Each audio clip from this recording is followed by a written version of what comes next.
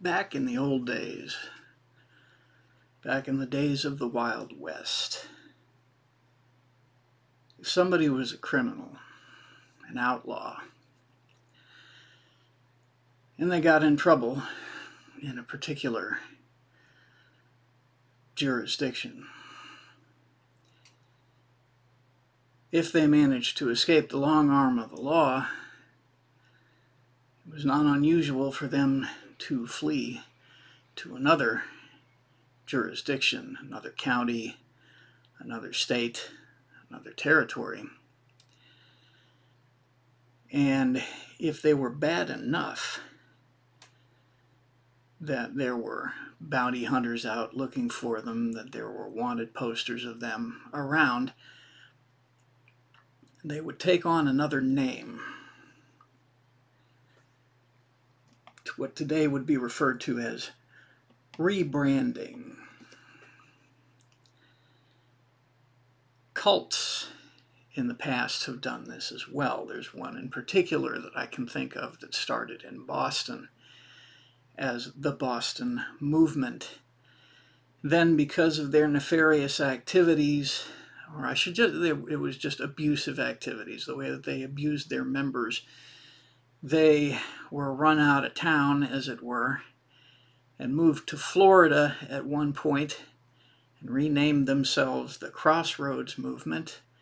And then the same thing happened to them in Florida, and they left town and they eventually ended up in California and renamed themselves again.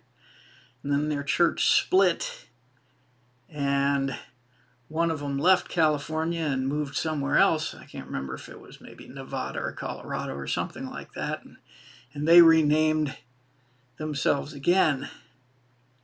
This kind of rebranding due to uh, uh, infamous activities is not unusual.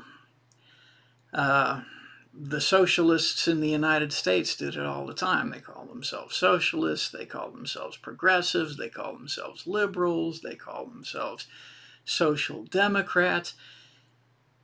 The reason that they do it is because eventually their name gets a bad connotation. The name gets a bad connotation because of their bad behavior, because of behavior that turns people off, that angers people and turns them off. And the left in the United States do this all the time, especially with the names of their movements. And they're doing it again with the term woke.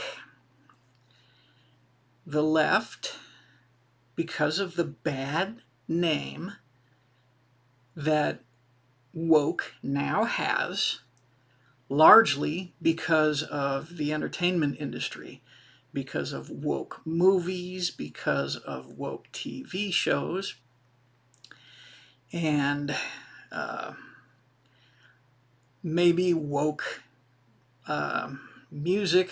I don't know because I don't listen to that much of today's music unless it's, you know, in the uh, alternative or jazz or blues genre. I don't really listen to pop uh, these days.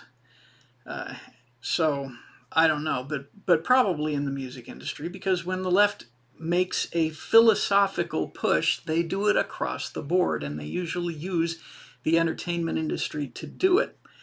Uh, and certainly uh, woke academia, which is where usually all of these movements start. All of these movements typically start in academia for the left. And then it just filters out to the entertainment industry and, and, and so on into popular culture. Anyway, um, currently the term woke has a bad name. And if a movie, TV show, whatever gets a reputation for being woke, people don't see it. People aren't going to go see it. Uh, this is a problem that Disney is having. Um, it's a problem across the across the uh, board when it comes to the entertainment industry, but Disney specifically is having a big problem with it, especially now because they're starting to attempt to put out um, entertainment that is not specifically woke. And uh, people aren't watching it because Disney now has a reputation of being woke. And the left are now taking offense to this, and they're they're they're suggesting that woke is a pejorative that we, the right, have somehow uh, that we invented and that we are using as as the N word, except uh, to describe their wokeness. Let me give you a quick history of woke, the word. It first appeared in 1942, or at least officially appeared in 1942, in the first volume of Negro Digest. It was written by R. Saunders Redding. Uh, he wrote an article on labor unions. It was then kind of adapted, arguably kind of adapted by um, Martin Luther King in a speech in 1965, but he used the term awake. We must stay awake. And then throughout the 60s and even the 70s, it was used primarily by the black counterculture to refer to. Uh, knowledge that the man didn't want you to know about. And then it kind of just faded out of use until, ni- uh, I'm sorry, 19, until uh, 2016. 2016, it resurfaced in the hands of BLM. BLM was searching for some things to give their very shallow Marxist movement some substance. And so they went back into the archives of the respected past of the black movement and found a term that they could hijack. And that term was woke. And it was to mean being aware of social justice issues. And then, because any movement nowadays, uh,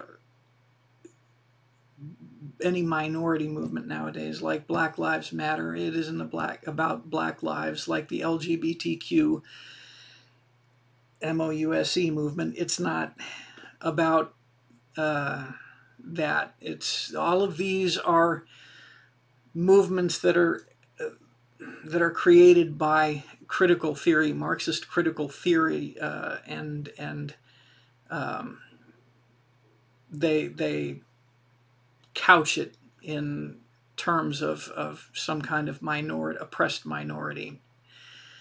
So, at any rate, now woke has been it's gotten a bad name and and now they're trying to say oh we never used that term and that's not us and it's it was invented by the right wingers to say mean things about us and call us mean names. Yeah no.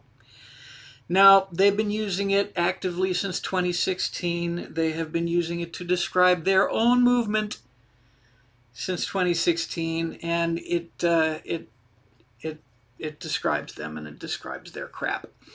So there you go. Don't fall for it. Don't buy it. If they if they try to distance themselves from it, you use this information that I just gave you and say, "Nope, you've been using this since 2016 and and it's you."